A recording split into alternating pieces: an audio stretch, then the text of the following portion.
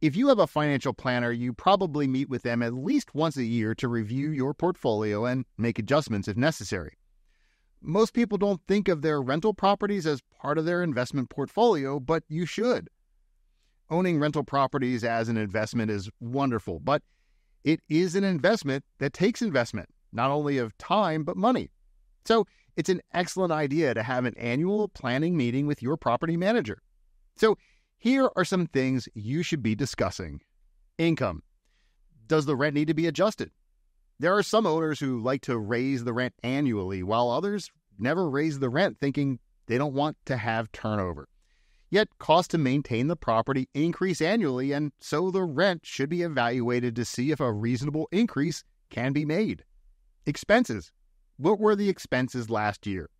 There's insurance, property taxes, and then recurring fees and costs such as a gardener, HOA fees, management fees, and possible utility costs. Many of these costs are fixed and you can budget for the coming year, but how do you deal with the unexpected expenses that come up? Reserves. How much is necessary? Reserves are a great way to build up slowly over time a pool of money to cover the unexpected or planned expenses. Your property manager can get estimates for many things, such as a new roof, new windows, or a new water heater, among others.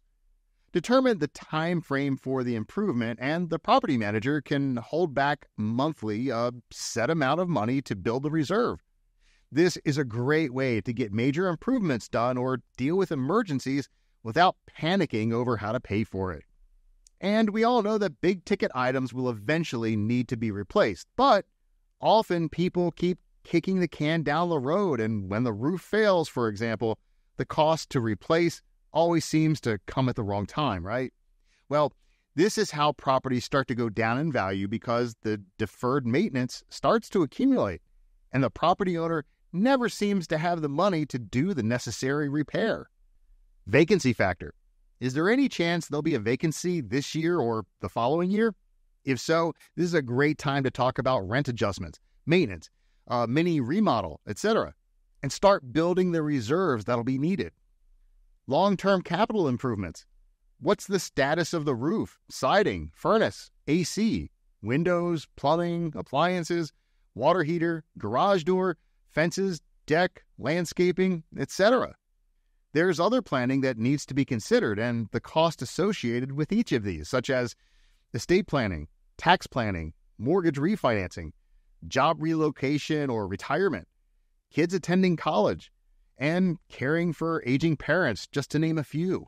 By working with your property manager, you can budget for the coming year as well as prepare for future expenses in a deliberate way that will allow you to be proactive versus reactive in owning rental property. Setting aside money towards your reserves allows for predictable income each month. The annual meeting is an opportunity to clarify goals and establish a plan so that the property manager is able to support and assist you in achieving your short and long term goals.